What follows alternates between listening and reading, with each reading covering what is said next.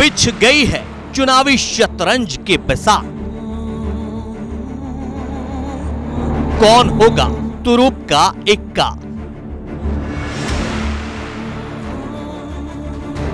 कौन बनेगा सियासत का बादशाह?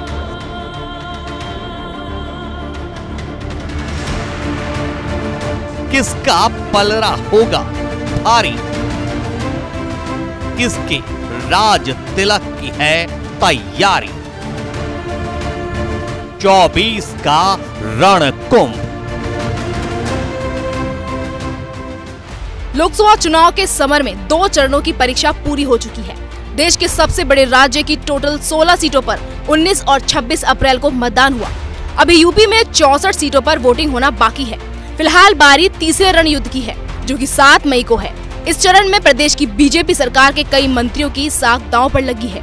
तीसरे चरण के दौरान योगी सरकार के मंत्री जयवीर सिंह का सबसे बड़ा टेस्ट होने वाला है, क्योंकि वो मैनपुरी से चुनाव लड़ रहे हैं, जहाँ उनका मुकाबला अखिलेश यादव की पत्नी डिम्पल यादव से है और मैनपुरी समाजवादी पार्टी का गढ़ है। सपा उन्नीस से इस सीट पर कभी चुनाव नहीं हारी।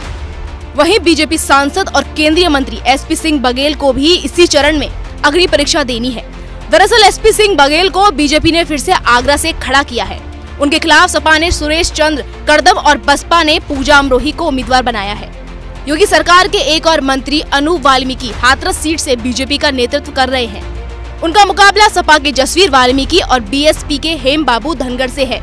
इसके अलावा फतेहपुर सीकरी सीट पर भी तीसरे चरण में वोट डाले जाएँगे। इस इलाके की आगरा ग्रामीण सीट से मंत्री बेबी रानी मौर्य विधायक हैं।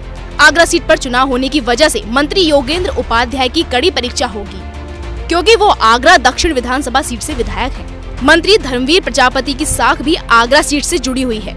वो यहीं के रहने वाले हैं। तीसरे फ़ेज़ में आंवला सीट पर भी वोटिंग होगी और आंवला विधानसभा सीट से विधायक के अलावा राज्य सरकार के मंत्री धनपाल सिंह के लिए भी सीट अहम है। वहीं संबल सीट की चंदौसी सीट से गुलाबी देवी विधायक है, जो सरकार में मंत्री भी हैं। जबकि बरेली विधानसभा सीट से विधायक और योगी सरकार के मंत्री डॉक्टर अरुण सक्सेना के लिए ये किसी अग्नि परीक्षा से कम नहीं है। बता दें कि यूपी में तीसरे चरण में 10 लोकसभा सीटों पर चुनाव होगा। यानी कि 7 मई के दिन योगी सरकार के दिग्गज मंत्रियों की किस्मत ईवीएम में कैद हो जाएगी, जिसका फैसला चार जून को होगा।